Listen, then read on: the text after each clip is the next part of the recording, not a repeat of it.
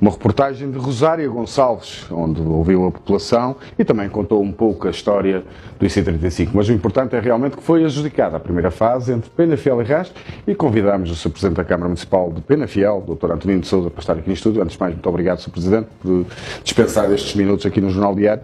E a, pergunta, a primeira pergunta que lhe faço é realmente, uh, sente-se confortavelmente com esta, com esta adjudicação e viu que a população ficou agradada?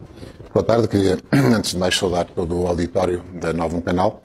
Eh, sim, de facto, eh, nada surpreendente o resultado desta reportagem. E eh, aquilo que constatamos nos depoimentos que fomos ouvindo é que, de facto, esta decisão era aguardada há muitos anos pelos, penafilenses, mas tenho a certeza que se a reportagem tivesse ouvido depoimentos em Castelo de Paiva, no Marco de Canaveses, em Sinfãs, em Rezende, iria colher exatamente as mesmas opiniões, de que é efetivamente muito necessário que rapidamente avance a obra do IC35, porque a Estrada Nacional 106 está completamente congestionada, é uma, uma estrada... O que se vê ali né, na reportagem, vê-se ali é um uma hora imenso, movimento e ambulâncias também. Uma, uma estrada que, por esse imenso volume de trânsito e também pela falta de condições mínimas de, de segurança, tem ceifado muitas vidas, tem provocado muitos, muitos danos dramáticos aqui na nossa região, no nosso território, e essa é para nós a principal questão questão da segurança que, eh, de facto, a 106 neste momento não tem eh, e, nessa medida, é uma das principais razões para que o IC35 avance é exatamente para salvaguarda da segurança que é necessária para os utentes desta estrada. E depois, pelas demais circunstâncias económicas, por exemplo, a nossa região, o sul do Conselho de Penafiel, Castelo de Paiva, o Mar de Canaveses, Sinfãs, Rezende, os municípios que referia há pouco, têm sido sido muito, muito prejudicados eh, pelo facto de não terem eh, uma boa acessibilidade ehm, à cidade de Nafiel, eh, à A4 e a partir daí ao Porto de Leixões, ao aeroporto Francisco Sá Carneiro e a várias ehm, circunstâncias mais localizadas no distrito do Porto, na, cidade do Porto, e que naturalmente têm constituído um fator de perturbação no desenvolvimento desta nossa região. Tenho certeza que com essas eh, melhores condições de acessibilidade eh, nós vamos poder, de facto, dar um salto de desenvolvimento muito significativo aqui nesta região. Presidente, eh, a população reconhece-o como uma das caras mais ativas nesta, digamos, entre aspas, luta, que é construir o C-35.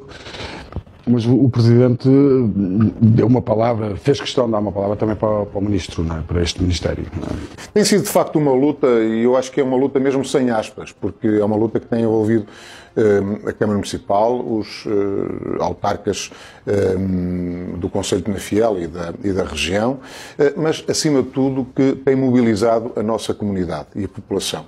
E a população, sobretudo, mais recentemente, começou a dar sinais de cansaço, de saturação pelo facto desta situação se não resolver e pelo facto do IC35 não avançar.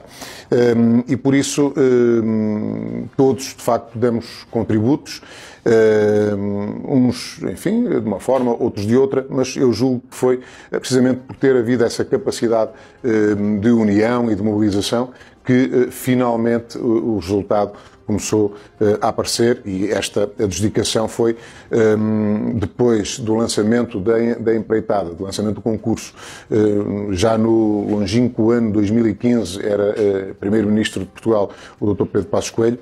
Esta adjudicação que agora aconteceu foi, de facto, o passo mais importante que aconteceu cinco anos depois.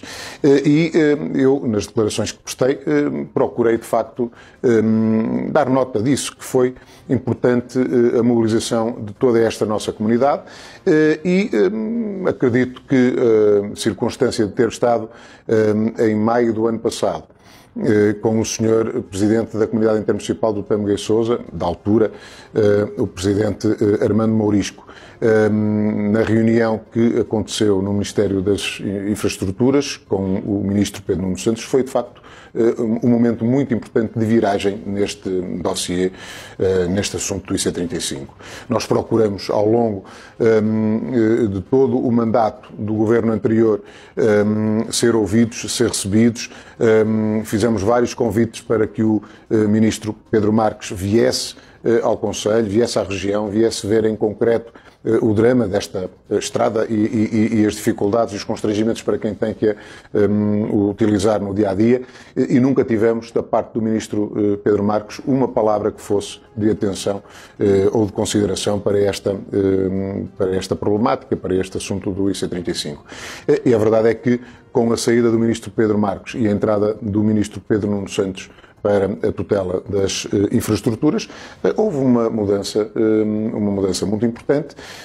este ministro mostrou efetivamente uma sensibilidade para o tema que o anterior nunca tinha revelado e foi de facto um ponto de viragem. E, portanto, é justo nós devemos ter a mesma frontalidade para criticar e para apontar aquilo que não corre bem e, depois também essa mesma franqueza e frontalidade para reconhecer quando há empenho e quando há disponibilidade para resolver. Que, afinal, é uma questão política, que é uma questão mesmo de, de, necessidade para a população. Estamos a falar aqui de quase um, de uma emergência, não é? Sim, esta é, obra, esta, obra, esta obra eh, não é uma obra de, de, partidos, é uma obra efetivamente da região e que é importante que, que ela seja feita por todas as razões que nós já referimos e já referimos em tantas circunstâncias. E, de facto, não é uma, não é uma, uma obra partidos, porque uh, uh, a Assembleia da República, por unanimidade, aprovou em 2001 uma resolução um, eh, atribuindo, conferindo caráter de urgência a esta obra. E, portanto, foi uma uh, resolução que foi aprovada por unanimidade na Assembleia da República. Infelizmente, um, os vários governos de então para cá não mostraram grande respeito pela resolução da Assembleia da República, porque, na verdade, nada foi, foi feito efetivamente e em termos concretos, senão, como disse, em 2015, eh, quando o eh, Primeiro-Ministro de então lançou eh, empreitada desta primeira fase, este primeiro troço, que faz a ligação da Nacional 15 até à freguesia de Rãs.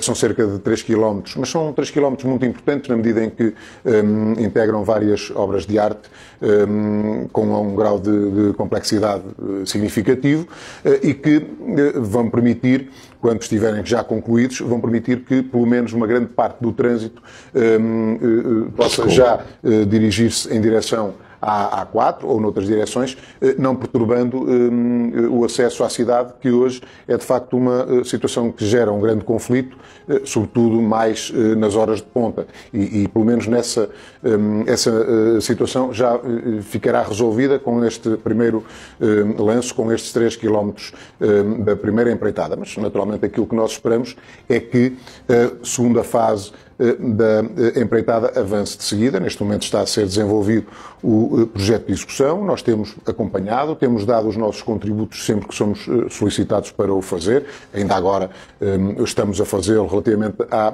questão das pedreiras, porque hoje as regras de afastamento de qualquer eh, estrada relativamente às pedreiras eh, são muito mais exigentes e eh, toda aquela área do nosso Conselho de Bruzelo, de, de Cabeça Santa, de Rio de Moinhos, tem ali algumas pedreiras e, portanto, isso traduz-se numa maior dificuldade na elaboração deste projeto de execução. Estamos a dar esse contributo, como eu dizia, e aquilo que nós esperamos que aconteça é que no decurso desta primeira empreitada, fique concluído o projeto de execução e possa ser lançada então a segunda empreitada, porque é óbvio que aquilo que importa efetivamente é que a ligação se faça desde na Fiel até entre Juiz, para que fique eh, de uma vez por todas resolvida toda esta questão em termos de segurança, ehm, promovendo uma maior eh, e melhor acessibilidade a toda esta região do nosso ehm, Conselho, eh, da parte sul e dos municípios ehm, que referia do Tâmega